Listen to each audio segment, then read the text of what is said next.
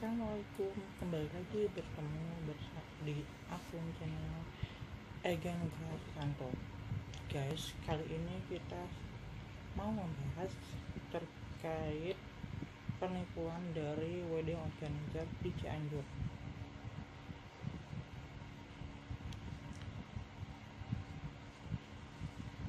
Jadi eh, ini saya bersumber dari berita di pojok Jabar ada sekitar 22 pasangan yang tertipu oleh wedding organizer high level Cianjur.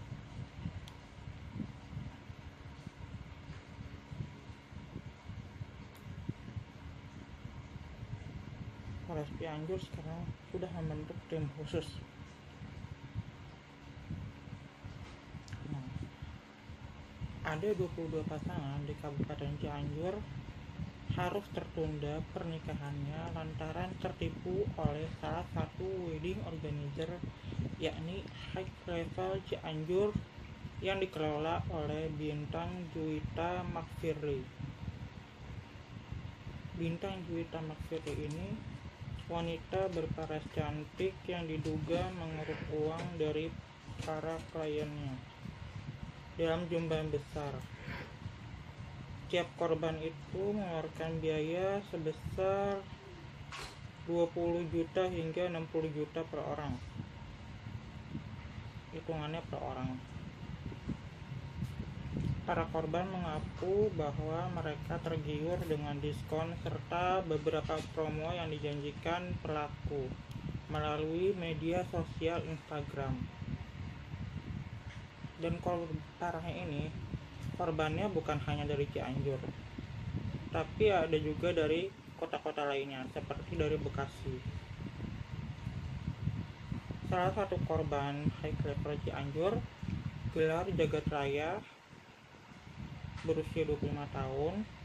Ia mengaku bahwa dirinya mengetahui WA tersebut awalnya dari media sosial. Tahun 2019 dengan dekorasi serta harga yang menarik. Selama tiga bulan dia intens komunikasi dengan pelaku. Cukup lama tiga bulan. Kita awalnya melihat di media sosial yang bikin tertarik dari dekorasi serta promo dan potongan harga dari orang tersebut. Makanya kita pilih buat pernikahan tanggal 3 Agustus 2019 parah ini. Ia tidak mengetahui keberadaan kantor dari WO High Level Cianjur dan hanya mengetahui kediaman pelaku di Jalan Yusuf Hasiru, Gang Anggrek nomor 24 RT 01 RW 9, Kelurahan Sayang, Kecamatan Cianjur. Ia tidak curiga sama sekali. Bahkan beberapa kali bertemu hanya di kafe dan di luar potongan harga yang diberikan tidak menjadikannya curiga. Dan hanya Rp 60 dari harga Rp 60 juta menjadi Rp 30 juta. Jika dilunasi pada hari itu juga. Ia pun langsung berkomunikasi dengan pelaku untuk membayar setengahnya Pelaku menjanjikan akan memberikan gratis ongkir untuk transportasi peralatan dekor.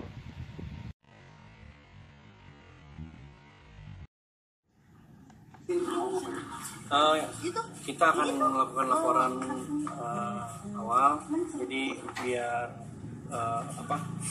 Biar polisi bisa segera bertindak. Jadi kita akan segera, segera melaporkan uh, tersangka terduga uh, penipuan.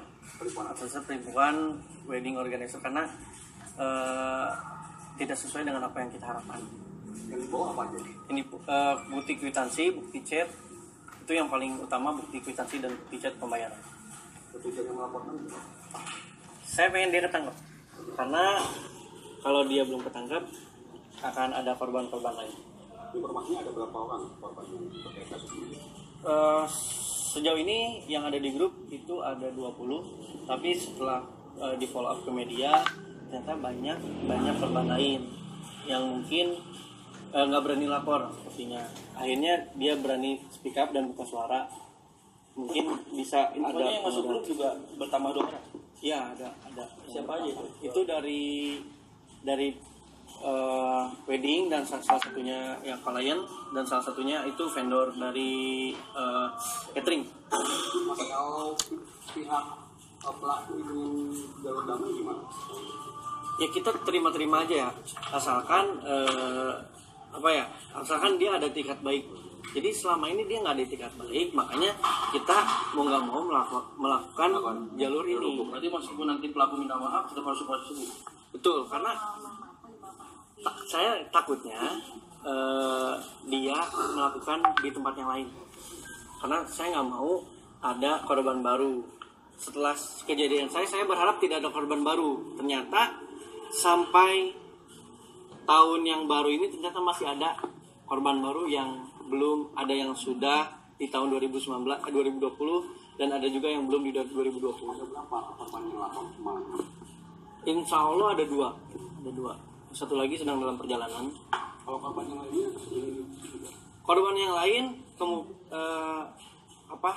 Karena kendala dengan waktu, karena banyak yang merantau juga, akhirnya eh, nggak bisa besok mungkin eh, weekend, karena kan kebanyakan perantau. Tapi besok mungkin ada yang lapor lagi.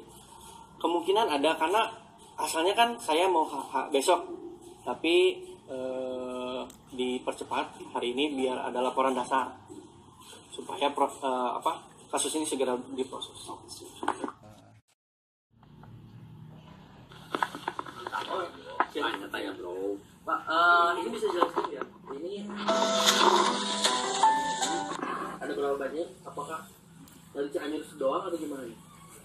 Kalau kalau korban kayaknya ya setahu saya lebih banyaknya di Cianjur karena kebanyakan karena kebanyakan eh, karena kan dia dia, dia base, basisnya di Cianjur.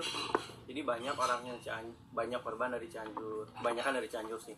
Awalnya di- tahu bahwa WO ini menipu ya atau apa-apa ini awalnya gimana ya?